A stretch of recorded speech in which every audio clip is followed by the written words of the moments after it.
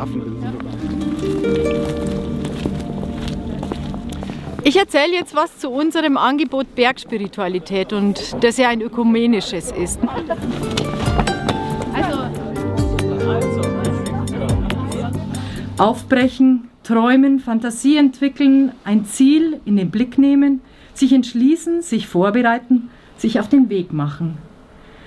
Den Alltag verlassen, raus aus dem Alltagstrott, den Schnee bestaunen, das Rauschen eines Bergbaches hören, den Duft der Blumen einatmen, den Blick in die Weite schweifen lassen.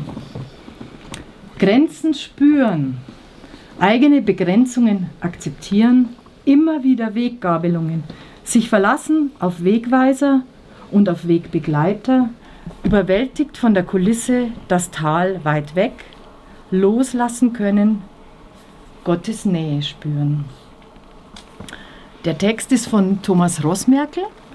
Bei uns war die Entscheidung eben aus, diesem, aus dieser Bergnähe, aus dieser besonderen äh, Landschaft aus, oder aus diesem Wahrnehmen der Schöpfung, in diesem Bewusstsein eben auch den spirituellen Gedanken reinzubringen und so Bergspiritualität als Wort zu kreieren. Lob singt ihr Völker